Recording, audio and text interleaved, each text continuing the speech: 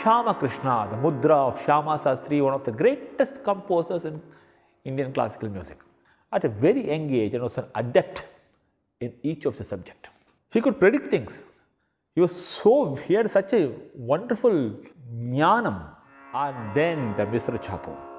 The Misra chappu was his ever favorite. So many compositions in Misra chappu. ತಲ್ಲಿ ನಿನ್ನು ನೆರ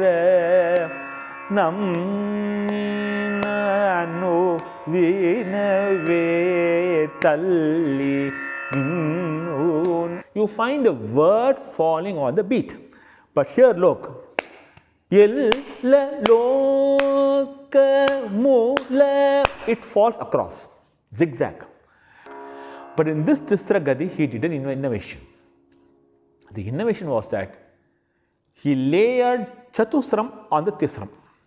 The usage of Ma, how to use Ma in Bhairavi, he says, Ma pan, you can use it flat, Ma pani da ma pada ma pada pa ma pada pa ma gari. What you call puruttams or mathematical phrases, he has used maximum. This makes us believe the Shyama Shastri's voice is very robust, otherwise he could not have composed. And very interestingly, he has not used Kakali Nishadam in this Ridukula Kambati. He has always used only Kaisiki Nishadam.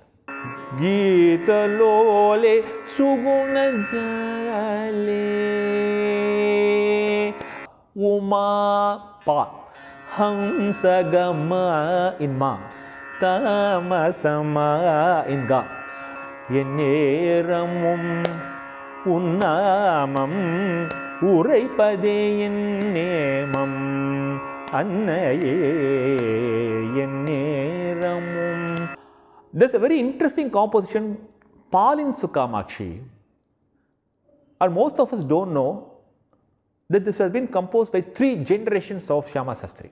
ನಿಂದು ವಿನ ಮರಿಗಲದ ಗತಿಲೋಕಮುಲು ನಿನ್ನು